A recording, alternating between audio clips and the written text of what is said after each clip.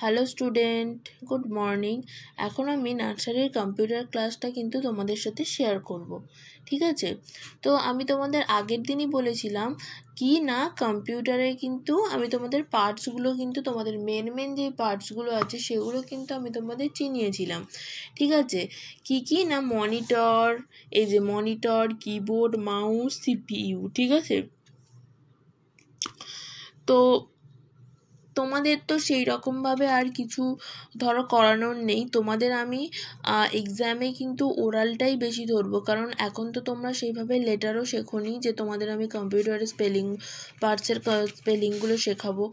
বা তোমরা যে আরও কিছু টপিক করতে পারবে সেই সম্পর্কেও তোমরা কিছু পারবে না। সেই জন্য ধরো আমি তোমাদের ওরালে কিন্তু ওরালের উপরেই কিন্তু ফার্স্ট এক্সামটার বেশি জোর দেব। ঠিক আছে? ধরো আমি সেই ব্যাপার নিয়ে এখন এখন আমি তোমাদের সাথে আলোচনা করব। ধরো আমি তোমাদের এরকম জিজ্ঞেস করলাম যে কম্পিউটার আমাদের কি কি কাজে দুটো ব্যবহার বলো। যেমন ধরো তোমরা হয়তো বললে যে কম্পিউটার তোমাদের কি কাজে লাগবে? কম্পিউটার তোমাদের কাজে লাগে হচ্ছে যে, ধরো গেম খেলতে কাজে লাগে বা কোনো কিছু ধরো ক্যালকুলেট করতে কাজে লাগে বা ধরো সিনেমা দেখতে কাজে লাগে। এরকম আমি কিন্তু তোমাদের ধরতে পারি। কম্পিউটারের দুটো ব্যবহার ধরতে পারি বা ধরো, আমি তোমাদের একটা কম্পিউটারের সামনে নিয়ে গেলাম, সেখানে আমি তোমাদেরকে জিজ্ঞেস করলাম যে মনিটরটা মনিটরটা আইডেন্টিফাই করো বা কিবোর্ডটা আইডেন্টিফাই করো বা মাউসটা আইডেন্টিফাই করো সিপিইউটা আইডেন্টিফাই করো। হ্যাঁ আমি তোমাদের আরও একটা জিনিস করাবো, সেটা হচ্ছে কি কালার করা বা এই কম্পিউটারের পার্টসগুলো কালার করা বা ডট দিয়ে এগুলো কানেক্ট করা এগুলো তোমাদের আমি নেক্সট দিন করাবো। কিন্তু আদারওয়াইজ বলতে গেলে তোমাদের কিন্তু কম্পিউটারের এক্সামে কিন্তু ফার্স্ট এক্সামে কিন্তু আমি কিন্তু ওরালের উপরেই বেশি জোর দেবো। কারণ তোমরা যেহেতু সেইভাবে এখনও পর্যন্ত কিছু শেখোনি। তাহলে দেখো, আমি যদি তোমাদেরকে কম্পিউটারের যদি ধরো আমি তোমাদেরকে ব্যবহার জিজ্ঞেস করি, তাহলে তোমরা নিশ্চয়ই বলতে পারবে। কারণ তোমরা আশেপাশে হয়তো কারও কারোর বাড়িতে ধরো কম্পিউটার আছে, ঠিক আছে? তো সেগুলো নিয়ে তোমরা কীভাবে ব্যবহার করছ?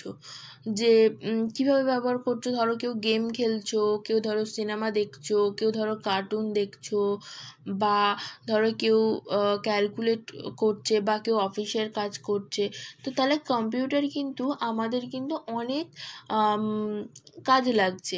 ঠিক আছে? আমি কিন্তু ফার্স্ট দিনই তোমাদের বলেছিলাম যে কম্পিউটার হচ্ছে এমন একটা জিনিস কি করছে না আমাদের যে দৈনন্দিন জীবনে কিন্তু আমাদের কিন্তু খুব বেশি উপকার করছে।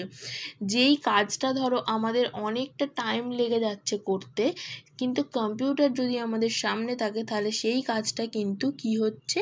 না কি হচ্ছে সেই কাজটা কিন্তু অনেক তাড়াতাড়ি হয়ে যাচ্ছে। আরও একটা জিনিস বলি তোমাদের। দেখো, আমাদেরও তো মেমোরি আছে। আমাদের ধরো আমাদের ধরো মাথার মধ্যে আমাদের সমস্ত কিছু স্টোর হচ্ছে। আমাদের মস্তিষ্কর মধ্যে আমাদের সমস্ত কিছু স্টোর হচ্ছে। ঠিক আছে? যেমন ধরো আমরা মানে মানুষদের মাথায় যেগুলো স্টোর হচ্ছে, সেগুলো কিন্তু আমরা কয়েকদিন পর গিয়ে ভুলে যেতে পারি। ঠিক আছে? ধরো, আজ থেকে এক বছর পর গিয়ে বা এক মাস পর গিয়ে আমরা কিন্তু ভুলে যেতে পারি। কিন্তু কম্পিউটার হচ্ছে এমনই একটা জিনিস যেগুলো তুমি কম্পিউটারে স্টোর করবে কম্পিউটারে মস্তিষ্কে যেগুলো স্টোর করে রাখবে, সেগুলো কিন্তু কি হচ্ছে না কোনো দিনই কিন্তু কম্পিউটার কিন্তু ভুলবে না। ঠিক আছে? মানে আমাদের মাথার মধ্যে আমরা কিছু জিনিস ভুলে যেতেই পারি, কিন্তু কম্পিউটার কিন্তু সেটা কোনো দিনও ভুলবে না। তাহলে বুঝতে পারছ যে কম্পিউটার কতটা শক্তিশালী আমাদের থেকেও বেশি। তো? বা ধরো কম্পিউটারের মাধ্যমে আরও কী হয়?